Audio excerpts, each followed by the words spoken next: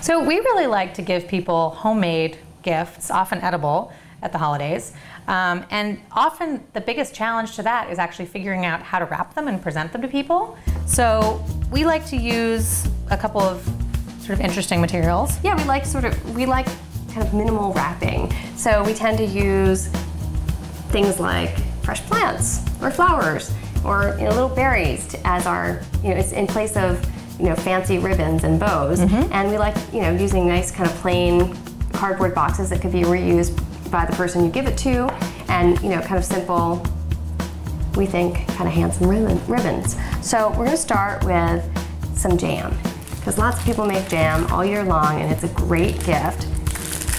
The best way to wrap jam is just in a cellophane bag so you can see it, because it's really quite pretty. And this is, the jam is in a weck jar, which is, we think are really handsome jam jars. Mm-hmm. And all we're gonna do is take a little greenery, and this funny little white plant, and twine. You love twine.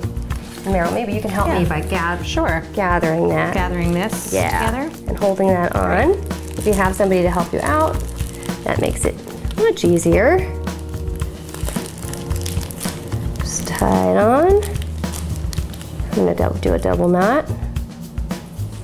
And kitchen twine is really good for, Yeah. for wrapping. Hey, looks good. Use it in the kitchen and out. Do a little Oh, bow. so cute. And there you go.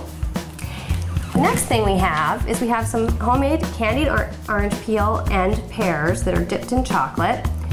Set them on a piece of felt in a brown box.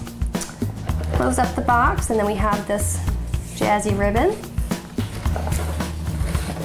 And we have this, again, this sort of mysterious white, sort of snowy looking plant plant thing, which feels holiday-ish to us. Yeah, Seems like it should be in the Nutcracker. exactly, it does. So just, I'm gonna use my finger there. that would be great. Okay. No reason to knot up anything. Just do a nice bow so that somebody can open it really easily. Oh, Pretty.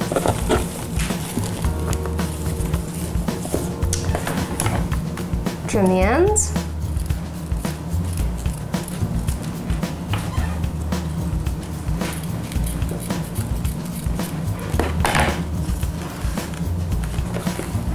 There you go.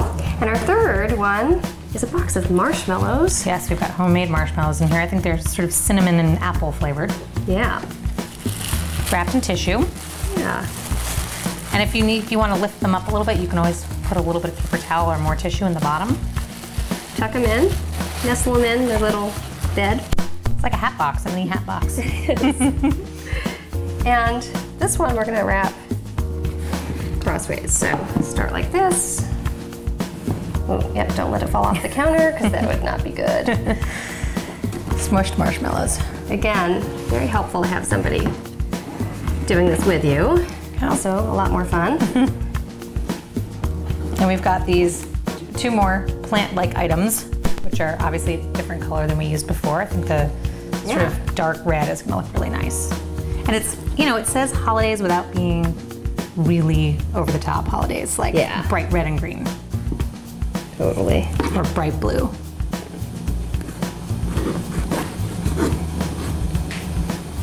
Tie it off. Pretty. And there you go. So there you go. There's some edible gift wrapping ideas for you, and I'm sure you can come up with a lot more on your own.